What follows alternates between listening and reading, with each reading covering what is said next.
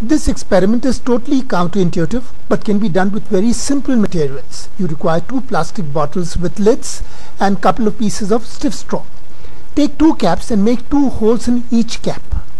Then take two short stiff plastic straws and fix them in one cap.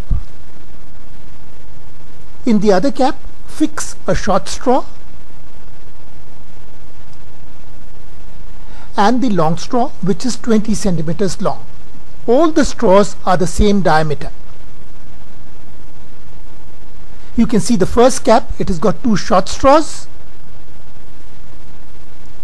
The second cap has a short straw and a long straw. You can see that both the lids are screwed on to two empty bottles. Now fill the bottles completely up till the top with water and then screw on the lids very tightly. Some of the water will spill out.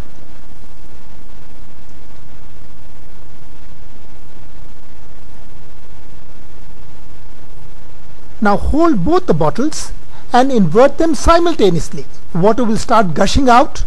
Take a bet which bottle will get emptied first. The one with the long straw will get emptied first because the, there is a longer column of water which exerts a greater force.